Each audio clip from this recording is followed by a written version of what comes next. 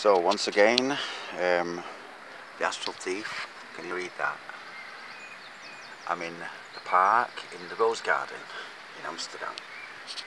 And uh, well, this is like a, a circular. Oh, someone I know. it's such a beautiful day, look. A few dodgy clouds in the sky. Hello. How are you? I'm a butterfly. nice to see you. Such a beautiful day. Look at all the people here. Well, not that many here, but I guarantee around and about there are. But um, my point was this: I was just I was sat on a bench. I think it was. Oh, I can't remember now. But I, uh, my point is this: look at all the trees. How they're all coming into bloom now, and well you can see that it's all changing. You can see the tops of the trees there the skeletons still of the trees but the lower small bushes are getting thicker and thicker with the branches aren't they?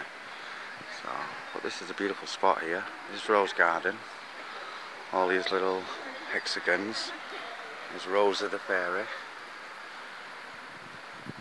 It tells you all about it. Well I got a booklet because uh, I met some people that were cleaning up these beds a few weeks ago when I was chatting to them um, they're going through them, weeding and what have you.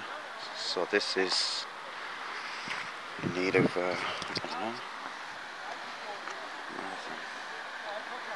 Yeah, it's real nice, beautiful day. But when the clouds get in the way of the sun,